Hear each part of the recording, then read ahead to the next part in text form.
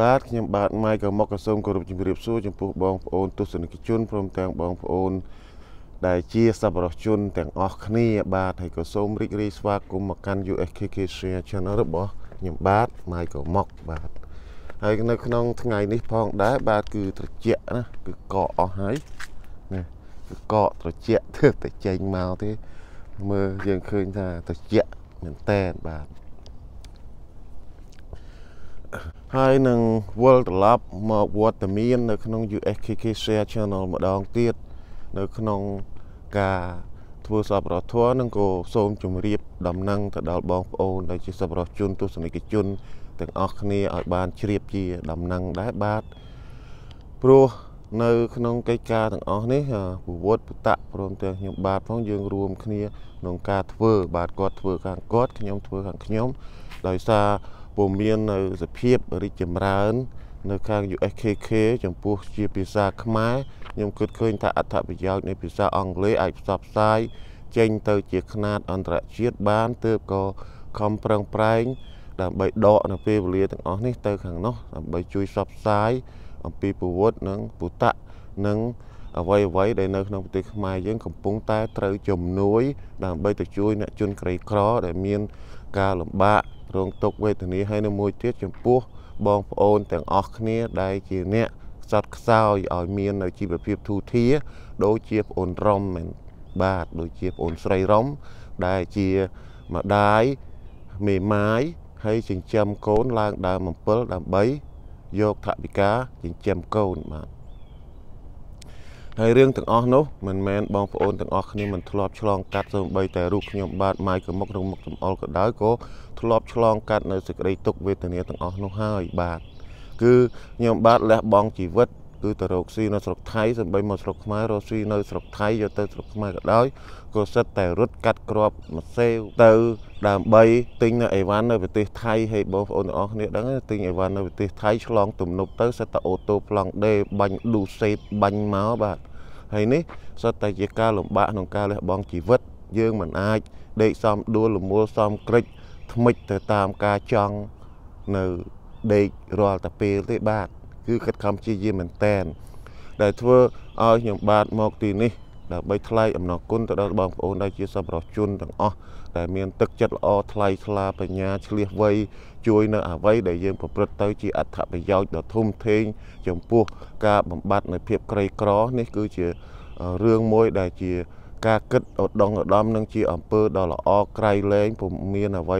យកមកដើម្បីវាស់ប្រៀបផ្ទឹមបានឡើយបាទព្រោះអីដូចជាប្អូនរំអញ្ចឹងគួរមានការចាប់អារម្មណ៍មែនតែនដោយសារអាវុធហើយនឹង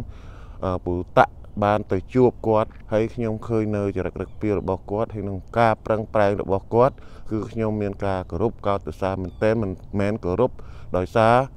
ជាអ្នកមានទេបាទក្នុងការគោរពរបស់ខ្ញុំគឺគោរពក្នុងការដែលខិតខំព្យាយាមរបស់គាត់មិនចោះចាញ់នៅជីវិតរបស់យើងដែលត្រូវការតស៊ូជាគោលនិងត្រូវការមានភាពរឹងមាំជាគោលមិនត្រូវដេកដួលរមួលសំក្រិច ថ្មិចទៅតាមការចង់ទេបាទនេះគឺជាការគោរពរបស់ខ្ញុំមិនមែនជាក្នុងការគោរពនៃគាត់មាននៅថវិកាដ៏លើសលប់មានឡានម៉ូតូវិឡាលុយឡានសពគ្រប់សូម្បីតែមាននៅទ្រព្យសម្បត្តិនិងអំណាចនៅលើផែនដីទាំងអស់នេះទោះបីមាននៅមាសប្រាក់ឬអំណាចនៅលើផែនដីទាំងមូលនេះបាទបើគ្មាននៅគុណធម៌គ្មានភាពតស៊ូ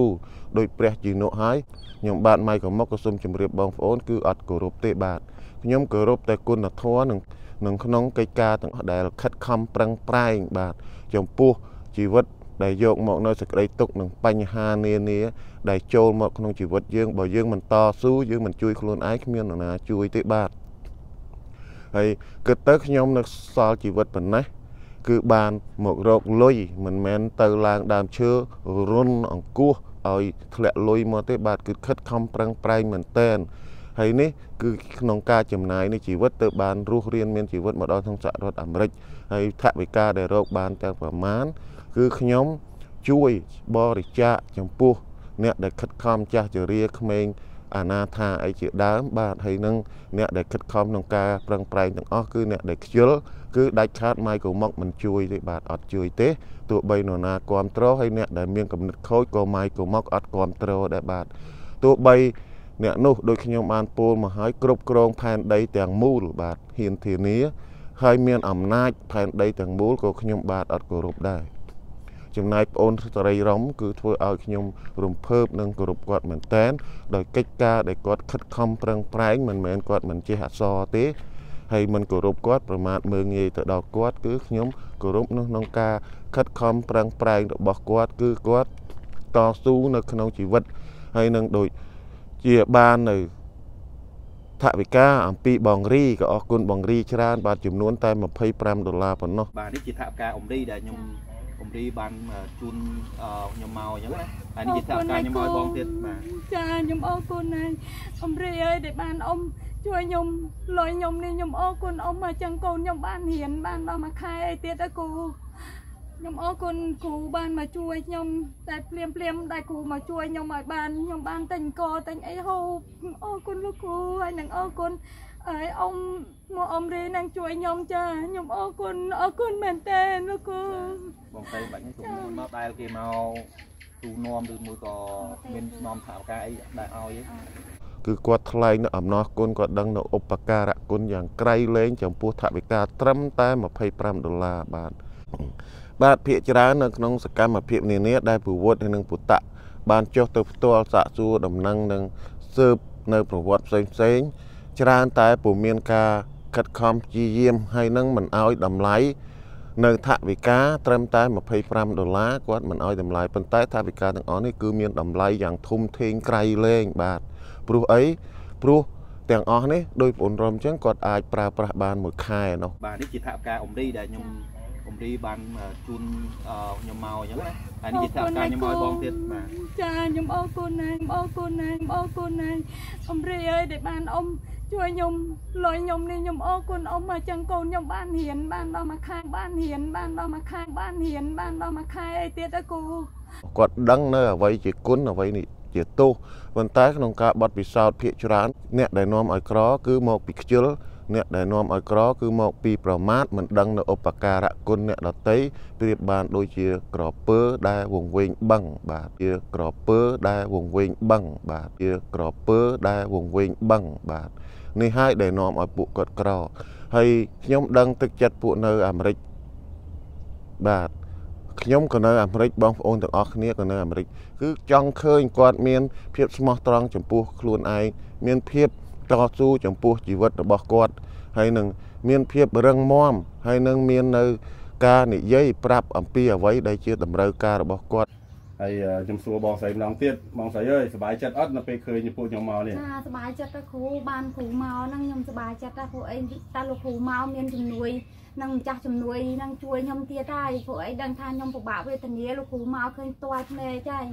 ថាខ្ញុំពិបាកវេទនាមិនលោកគ្រូឃើញហើយខ្ញុំបេះតពួនបេះផលិតបេះ មកជូរមែនប៉ិតខ្ញុំអត់កុហកទេខ្ញុំអត់កុហកទេខ្ញុំអត់កុហកទេខ្ញុំរាល់ថ្ងៃខ្ញុំបេះតពួនបេះផលិតបេះមជូរកាប់អស់លក់ខ្ញុំគួងក្រាំងលក់លោកគ្រូឃើញទិដ្ឋភាពពិតប្រកបហើយច្បាស់លោហើយខ្ញុំអត់កុហកលោកគ្រូទេបានអញ្ជើញលោកគ្រូទៅសួរប្រធានភូមិប្រធានភូមិក៏បានដែរពួកខ្ញុំអត់ចេះភូតកុហកគេទេពួកខ្ញុំអត់ចេះភូតកុហកគេទេ ពួកខ្ញុំអត់ចេះភូតកុហកគេទេបាទជាតិនេះខ្ញុំរស់ស៊ីដាំកម្លាំងជីវោរបស់ខ្ញុំបាទជាតិនេះខ្ញុំរស់ស៊ីដាំកម្លាំងជីវោរបស់ខ្ញុំបាទជាតិនេះខ្ញុំរស់ស៊ីដាំកម្លាំងជីវោរបស់ខ្ញុំខ្ញុំអត់ទៅលួចប្លន់គេហើយក៏អត់ទៅឲ្យគេពិបាកដោយសារខ្ញុំដែរលោកឲ្យគេពិបាកដោយសារខ្ញុំដែរលោកឲ្យគេពិបាកដោយសារខ្ញុំដែរលោកគ្រូខ្ញុំអត់ខ្ញុំអត់តែខ្លួនឯងពិបាកខ្លួនឯងខ្ញុំអត់ទៅប្រាប់គេឲ្យដឹងថាខ្ញុំអត់បាក់វេទនាអីទេលោកគ្រូ ហើយការណាថវិកាដែលយើងបានលះបង់ទៅហើយគឺឃើញគាត់យកទៅធ្វើខិតខំនិងដឹងនៅឧបការៈគុណទាំងអស់នោះហើយយើងទាំងអស់គ្នា គឺបដូរនៅជីវិតទោះបីឈឺក្តីទោះបីលំបាកក្តីមិនមែនយកការឈឺដើម្បីយកមកធ្វើលេសនិងមិនធ្វើនៅកិច្ចការទាំងអស់នោះដើម្បីយកមកចិញ្ចឹមជីវិតទេបាទចង់រកស៊ីខ្លួនឯងដែរតែគ្រូអើយធ្វើទៅវល់តិចវល់មុខតិចអឺនេះជើងអីវ៉ាន់ទូណាជើងហ្នឹង ដើរដើរអញ្ចឹងទៅដើរអត់ចង់រួចចង់រកស៊ីខ្លួនឯងដែរតែគ្រូអើយធ្វើទៅវល់តិចវល់មុខតិចអឺនេះជើងអីវ៉ាន់ទូណាជើងហ្នឹងដើរដើរអញ្ចឹងទៅដើរអត់ចង់រួចចង់រកស៊ីខ្លួនឯងដែរតែគ្រូអើយធ្វើទៅវល់តិចវល់មុខតិចអឺនេះជើងអីវ៉ាន់ទូណាជើងហ្នឹងដើរដើរអញ្ចឹងទៅ ដើរអត់ចង់រួចកិច្ចការងារទាំងអស់ហ្នឹងបងប្អូនមានចង់មានប្រកបរបរអីផ្សេងដើម្បីឲ្យបានថាវិការគ្រាន់តែបានជួយចាំម្ដាយទេបងចង់អីចង់ទៅបើចង់ចង់ធ្វើអីដែរបងគាត់គិតបាយគាត់គិតបាយគាត់គិតបាយអត់ទាន់គិតច្បាស់ហើយណាបាទចង់ប៉ុន្តែអត់ទាន់ដឹងថាធ្វើអីអូ ហើយខាងអ៊ំស្រីកម្លាំងកំហែងអីនៅយើងអាចនេះបានទេអ៊ំអាចអឺលក់ដូរនេះនោះបានទេហើយអាចធ្វើការអីក្រៅពីយើងទៅបំរើបោសសម្អាតលាងចានអីនៅនៅវត្តអាចមានអឺចង់ប្រកបរបរអីបន្ថែមទៀតក្រៅពីហ្នឹងឯងដើម្បីបានប្រាក់ចំណូលខ្លះគ្រាន់តែចង់តាលោកគ្រូតែអត់មានថាការធ្វើដើមទុនអីចឹងចង់ចង់ធ្វើអីដែរអ៊ំ ចង់លក់ដូរនៅផ្ទះអីចឹងក៏ទៅពុកផ្ទះចឹងទៅលក់អីគេអ៊ំលក់បបរលក់អីអូចង់លក់បបរបាញ់ឆៅនំតែលបញ្ក់ចុអកត់សូវដាច់ទេលោកគ្រូអ្នកលក់ច្រើនបាទប៉ុន្តែអឺបើតាមដែលភាកច្រើនខ្ញុំតែងតែលើពាក្យហ្នឹងខ្ញុំតែងតែលើពាក្យថាគេលក់ហើយយើងអត់លក់ចា យើងលក់អត់ដាច់ចាមានគេលក់ហើយប៉ុន្តែចំណុចទាំងអស់ហ្នឹងគឺខ្ញុំគិតថាវាជាចំណុចអវិជ្ជមានទេអ៊ំដោយសារទីផ្សារទីផ្សារកាលណាលក់កាន់តែច្រើនអតិថិជនមកជួយទិញកាន់តែច្រើនខ្ញុំជឿជាក់អញ្ចឹងចាពីព្រោះអឺมันប្រកាសថាអតិថិជននីមួយនីមួយមកទិញតាបកគលកទេបកគលខអត់ទិញទេចាគឺសំខាន់បកគលខ គាត់លក់ដូចបកគលកដែរប៉ុន្តែអ្វីដែលសំខាន់គឺយើងធ្វើបានឆ្ងាញ់ជាង ទី1រសជាតិឆ្ងាញ់ទី2លក់ធូរថ្លៃជាងជាងគេទីអាហើយអ្វីដែលសំខាន់ជាងគេនោះគឺវាពាក់ព័ន្ធទៅលើខាងសុខភាពអនាម័យចាបើយើងធ្វើបានមានអនាម័យខ្ពស់បាទមានអនាម័យល្អហើយអឺរសជាតិនោះក៏ឆ្ងាញ់អញ្ចឹងខ្ញុំជឿជាក់ថាយើងប្រកាសជាលក់ដាច់ជាងបុគ្គលកចាខ្ញុំជឿជាក់អញ្ចឹង បាទมันអាចថាអឺមានគេលក់ហើយយើងអត់លក់ទេมันអាចអញ្ចឹងទេអ៊ំណា ចា បាទហើយបើអ៊ំចង់អឺមានព្រោះអឺឃើញថានៅមុខផ្ទះអ៊ំនេះមានភាពធំអឺទូលំទូលាយដែរ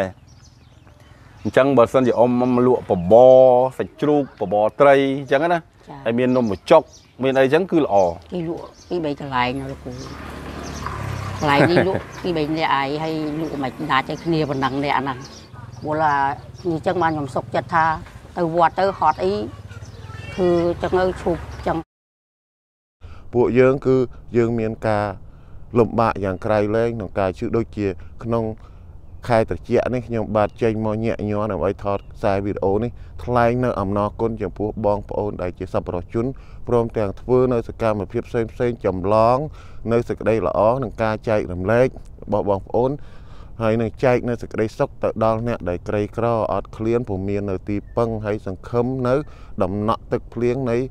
នៃភ័ព្វសំណាង នៃការផ្ដល់នៅឱកាសទៅដល់ពួកគាត់ពួកគាត់នឹងខំប្រឹងប្រែងបាទក្នុងការដែលជួយផ្ដល់នៅដំណឹងផ្សេងផ្សេងៗហើយនឹងទំនាក់ទំនងផ្សេងផ្សេងៗនិងកិច្ចការផ្សេងផ្សេងៗយ៉ាងច្រើនទៀតបាទហើយខ្ញុំបាទមកក៏មកធ្វើខាងសពរធរជាមួយពវុទ្ធពុទ្ធៈនេះមិនមែនជាការងាយទេបាទ គឺថាមានការលំបាកយ៉ាងច្រើន បាទមានឧបសគ្គយ៉ាងច្រើនហើយយើងឃើញនៅផ្ទាំងទស្សនីយភាពក្នុងខ្សែវីដេអូបងប្អូនទាំងអស់គ្នាឃើញថាងាយស្រួលប៉ុន្តែមកពុំមាននៅក្នុងការងាយស្រួលទេបាទមានការលំបាកយ៉ាងច្រើនអញ្ចឹងយើងត្រូវរុករកស្វែងរកអ្នកដែលមានសមត្ថភាព អ្នកដែលមានការតស៊ូអ្នកដែលដឹងឧបការៈគុណអ្វីដែលយើងបានបរិច្ចាគអ្វីយើងបានជួយពួកគាត់គឺយើងមានសេចក្តី បៃតិសោមនស្សរីករាយណាស់យើងពុំចង់បានអ្វីពីគាត់មកវិញទេ យើងគ្រាន់តែចង់បានឲ្យគាត់ខិតខំប្រឹងប្រែងកុំឲ្យមួយម៉ាត់មកកលឹតបង្ក្តោដេកបាទអាហ្នឹងអត់កើតទេសូម្បីតែសក្រីមកគុំហើយនឹងមកទេសមកគុំដាំនឹងថោក៏អត់មានអាហ្នឹងយើងអត់ជួយទេបាទដាច់ខាតមកក៏មកមិនជួយដាច់ខាតគ្រាន់តែជួយក្នុងការរស់មួយគ្រាប៉ុណ្ណោះប៉ុន្តែក្នុងការជ្រុំជ្រែងជួយ ដើម្បីឲ្យមានមុខរបរគឺម៉ៃក៏មកហ៊ានធានាថាមិនជួយទេ បាទអត់ជួយដាច់ខាតអញ្ចឹងបានខ្ញុំមកទីនេះដើម្បីបញ្ជាក់សេចក្តីចែកជូនទៅដល់បងប្អូនយើងឲ្យបានទស្សនាដោយសារខ្ញុំកោតសរសើរដោយសារខ្ញុំគោរពប្អូនស្រីរំដែលជាមេម៉ាយក្នុងការខិតខំប្រឹងប្រែងហើយនឹងឲ្យតម្លៃនៅថវិកានិងឲ្យតម្លៃនៅពួកយើងដែលរស់នៅក្នុងសហរដ្ឋអាមេរិកភាគច្រើនយើងបាន បរិច្ចាគនៅថវិកាជួយទៅដល់បងប្អូនគាត់មានសេចក្តីប្រមាថច្រើនច្រើនទោះបី500 1000គឺក្នុងកន្លះខែមួយខែគាត់មកទាទៀតហើយបាទគាត់មិនអោយតម្លៃទេប៉ុន្តែបងស្រីរំត្រឹមតែ25ដុល្លារ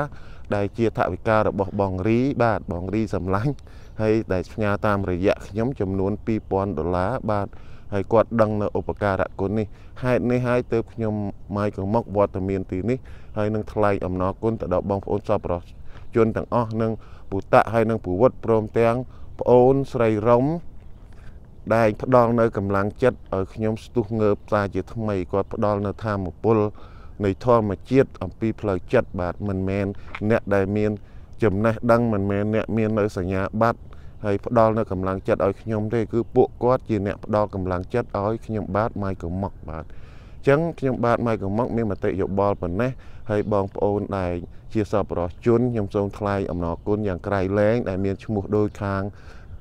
ក្រោមនេះបាទហើយនៅក្នុងផ្ទាំងនៃវីដេអូនេះហើយបាទសូមថ្លែងអំណរគុណយ៉ាងក្រៃលែងហើយនឹងហើយនឹងរាល់កំហុសឆ្គងក៏សូមអព្យាស្រ័យចឹងបងប្អូនទាំងអស់នេះសុខកាយសប្បាយចិត្តគំនិតល្អប្រាជ្ញាឆ្លៀសវៃធ្វើអ្វីបានជោគជ័យនិងមានសេចក្តីសុខ ហើយនឹងសុខភាពល្អបវរសួស្តីមានអ្វីអ្វីគឺគិតត្រូវធ្វើត្រូវនៅដោយសេចក្តីសុខស្រណុកកាយសប្បាយចិត្តហើយនឹងមានគំនិតជួយទៅដល់លោកអ្នកដែលខិតខំប្រឹងប្រែងមិនមែនដោយសារទ្រព្យសម្បត្តិមិនមែនដោយអំណាចបាទអញ្ចឹងខ្ញុំបាទម៉ៃកុមុកក៏សូមគោរពលាបាទ